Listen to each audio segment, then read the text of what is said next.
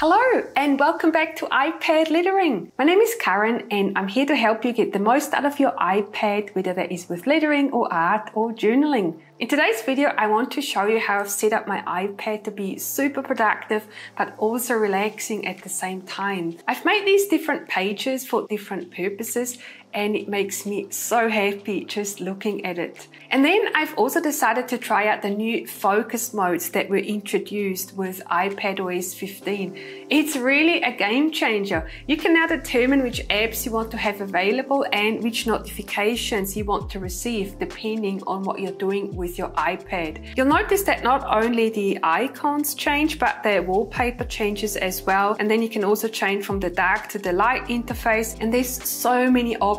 And this is what I'm going to show you in today's video. This is what my iPad used to look like. Look at this. There is so many pages and so many apps. And I don't even know all the apps that I have installed and collected over the years. And so it's just a huge mess and creates a massive distraction. So let me show you how we can transform this into the beautiful new relaxing setup. You will need three apps for this. The first one is the Shortcuts app, and then you will also need the Widgetsmith app, and then the third app we're going to use, but that's optional, is the Procreate app. And then before you start, please also make sure that you've updated your iPad to the latest version of iPadOS. It needs to say at least iPadOS 15 or a later version will work too, of course. All right, so now let's get started. So the first thing we need to do is actually get rid of all the icons we have. And I've removed all my icons and started from scratch. But if you don't want to do that, there's also another way. So hold your finger on the screen anywhere until the icons start wiggling. And then you want to tap on the bar here at the bottom to have a look at all the screens that you currently have on the iPad. And so now the easiest way to get rid of them is just to unselect them. And then you can see as soon as you untick the checkbox, there's a little minus icon here. So what you can do if you want is tap on the minus and then that will get rid of the apps as well. You see that if you remove the page that the apps will not get deleted, but they will just be available in the app library. And so now we are going to create a new page here. And the first thing we want to do is add some widgets. You can decide how many shortcuts you want to have available. And I've decided to have four shortcuts because that's as many different focus modes that I want, but you can actually also have eight if you like. And so now we're going to tap add widget. And the reason why I've started with this is because I'm going to use this to guide me in the selection of my color scheme. So now we're going to start the Shortcuts app and I'm going to show you how you can set up shortcuts. So you tap on the plus here and that brings up the new shortcuts page. So we're going to give this a name and you can choose any name you like depending on what you want to name your page. I recommend that you choose the same name and then you can also choose a color for it. And unfortunately there is only a few select colors available here. So I think the selection of the colors makes quite a big difference. I've decided to go for a purple and orange tangerine type of color scheme. But again, of course, this is absolutely up to you, whatever color scheme you would like to choose. So you choose that here and then tap done. And then we tap done here as well. And you'll see how I've already set up four different shortcuts, one for relaxation, one for music, one for creativity, and also one for work. And you can also rearrange the shortcuts. And this is important as well because depending on how you've got them arranged on the screen, that's how they are going to show up in the widget. So you can see now that I've added this new productivity shortcut and that's why all my other shortcuts have been moved. So now if you wanted to rearrange them, we can go back to the shortcuts app and then we can move this into a different place. And so now if we go back to the widget, you can see that it has been rearranged like this. And it's important that we do this first because I want to use these colors to guide me for my theme. So now we're going to take a screenshot of this and now we're going to create the wallpaper and we're going to use that Procreate app for this. Let's start with a new canvas and you want to use that screen size canvas because that's perfect for that wallpaper that we want to do. And now we're going to bring in the screenshot that we've just taken so that we can use the colors. And so now we're going to create a new color palette and we're going to add the colors that we see here on the screen to our color palette. And then if you want to, you can also add some different shades of each color to fill up up that whole palette to create the wallpaper. So now I'm going to create a new layer. We turn this layer off and we're going to start creating the wallpaper. And I've chosen to make just a very, very simple, relaxing theme. So we're going to start with the lightest color and then fill the whole screen, create the new layer, and then we're just going to create these gentle wavy lines like this. Choose a new color. And you want to create a new layer for each color so that you can fill it really nicely and easily. And then here at the top, I thought it would be cute to create a little sun as well. Just gonna choose this yellow color here, create a circle, and then we're going to fill this shape like this. And so now we're going to group all these layers and we're going to take a copy so that we're not going to lose the original, but we're going to flatten this layer so that we can recolor it. And we're going to start by duplicating this layer and then turn this layer off. And so now we're going to recolor this one. So now you want to choose the next color in your color scheme, which is the dark purple here. And then you want to drag the swatch into the bottom of the page and that will recolor the whole picture just like that. And so now we're going to do the same thing for all the remaining colors. We're going to use the original, we're going to take a duplicate and then we are going to use that swatch for the next color to recolor the whole page. Just drag it in like this. All right, so now we have all the different wallpaper colors and they are matching our color scheme really nicely. So the next thing is to export them all as JPEGs and then just save them to your Photos app. And now we go to the settings and now we can choose one of the wallpapers we've just made. And then the next thing we want to do is create a little label for each page. And we're going to use the Procreate app for this as well. And we are going to create a new canvas. The width is going to be 2400 pixels and the height is going to be 1200 pixels. And then you want to turn on your drawing guide. And again, I recommend that you use the colors that we've used before to create the backgrounds and make one label for each focus that you wanted to set up. And I'm going to use the modern lettering brush for this because it's one of my favorites. And so now the first one that we are going to do is relaxation. And of course, if you're not enjoying writing by hand so much, there's also a text function, so you can choose your favorite font to do this as well. But I very much like writing this and so that's what we're doing. Once you're finished with writing all the labels, you can export them and then just save them to your photos. And so now we need to set up a photo widget and we're going to use Widgetsmith for that. And I think that medium widget will work really well. And we're just going to use a photo and then a selected photo. So now you can go to your Photos app and then choose the label. And what you want to do is give this widget a name so that you can easily add it to the screen later on. So we're going to call this relaxation and save. And then we're going to do another one. And we're going to do the exact same thing for all of our labels. And now we're ready to place the label on the screen. So you long tap on the iPad to enter wiggle mode and then tap on the plus in the top left hand side corner corner and now we can select the medium widget to place on the screen. So all you have to do is bring this up and then tap on add widget.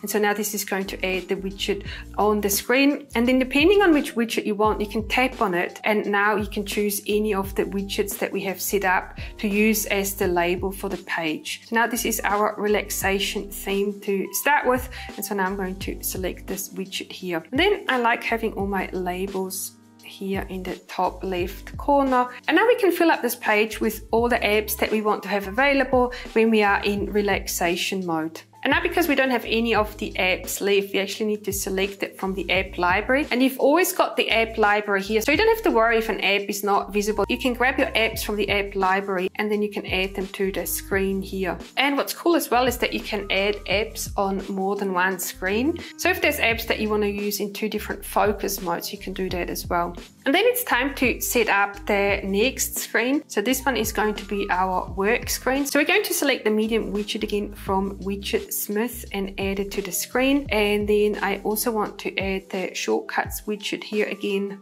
And then I thought for work, it would be nice to have the calendar widget as well. So we can select calendar and you can see there's quite a few different options available. And so now you can go through and add any widget that you want to have available for when you are in work mode. And so now I have got the four screens for creativity, relaxation. This is my work screen. And then also I've created a screen for my music, for my piano practice as well. And so the next thing we need to do is actually set up these focus modes so that then we can use the shortcuts to trigger them. And we going to go to the settings app and then we are going to the focus modes. And so now we're going to set up a new focus mode. And in order to do that, we tap on the plus icon here. And then you can see there's a number of different focus modes set up here already, but we're going to choose custom. And then we're going to choose the color that we want to have available. And purple is great because that's my creativity focus mode. And we give it a name. And then we can also choose an icon and then you can choose the people that are allowed to send you notifications or you can select none and then also the allowed apps here. So now the trick to setting this up perfectly is to select your home screen that's going to be available for a certain focus mode. So now we're going to tap on home screen and then tap on custom pages. And this is going to bring up all the pages that we have already set up. And so now I only want the creativity screen to be available to me in this focus mode. So now I'm going to tap done. And then that's the focus mode set up. So now if I choose my creativity focus mode, tap on creativity, and you can see now if I scroll to the side, I only have this available and I don't have any of the other screens available. So now if I wanted to turn this off, I tap on creativity and then I can turn it off and now I have all my other screens available again. And so now I thought it would be really cool to be able to press one of these buttons and then activate that focus mode automatically so they don't have to sort of scroll down and then select this. And in order to do that, we are going to use the shortcuts app. And so that what we need to do is set up some actions for all our shortcuts. So we're going to select the creativity shortcut first. And the first thing you want to do is set the focus. Then you tap on set focus. And so now here you can select the focus mode that you want. So we're gonna tap creativity and we wanna turn it on until it's turned off. So that's perfect. So now we're tapping on creativity and now this is turning on our focus mode and you can see here how we've got the creativity focus mode selected like this. But then of course we can do other things with this as well. So now I'm going to show you some more tricks what we can do with this focus mode. One of the things you might like to do is actually change your screen appearance. So you might also like to change the appearance to the dark interface. So you can tap on turn appearance to dark. And so now we can try this out. So now tap on creativity and then you can see the widgets also change to dark and the whole interface now is in dark mode. So this is super cool. But then one of the things that would be super cool to do as well is to actually change the background wallpaper. And so what we need to do is add our backgrounds to different albums. We're going to create a new album and this one is going to be called Relaxation. I recommend that you name your album albums the same that you've named your focus modes just to make it easier to remember, save. And now we're going to add that relaxation wallpaper to this album. And so now we have our wallpaper for relaxation. We've got one for work, We've got one for music and we've got one for creativity. And now we are ready to set up the shortcut. So we're going to go back to the shortcuts app and I'm already in the creativity shortcut. So the next thing we need to do is select the photo from the photos app.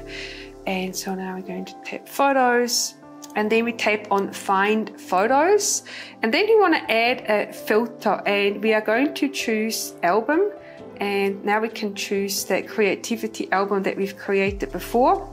And then you want to sort by creation date and you want to show the latest first. And then you also want to tap on limit and you only want one. All right, and now we are going to set the wallpaper. So we're going to search for the set wallpaper action. And now we can see it says set lock screen and home screen wallpaper to photos. And as the input for this, it will take the photo that we have selected here. And then what you want to do as well is tap on the little arrow here and it says show preview, you want to turn this off. All right, so now we are all set to go and now we can try this out. So tap done and we're going to go back to our home screen. So now if we tap on creativity, it will select the creativity home screen and you can see that, that there, these four dots are going to disappear. It'll change the UI to the dark interface and it's also changed our wallpaper. How cool is that? And now of course we can do the same thing for all the other focus modes as well. So we're going to go back to shortcuts and now we're going to do the same thing for music. We turn on music until turned off. We want to have the light interface and then we're going to select the wallpaper from our music album and then set the home screen to that. And so now we can try this out.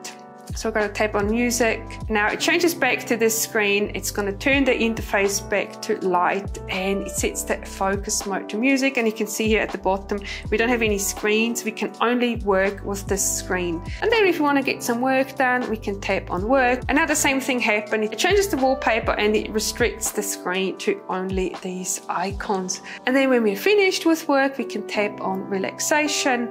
And now we are in relaxation mode. And one of the differences with the relaxation focus mode is that I'm actually allowing all the screens. So if I turn on relaxation, I can do anything I want. And that's it. I really hope you've enjoyed this tutorial. Give me a thumbs up if you did. Subscribe to my channel if you haven't already. And then I'm going to put up another couple of videos with more customization tutorials. Also to show you how you can change all the different icons so you can keep watching and you can keep learning. Thank you so much for watching and I'll see you in my next video.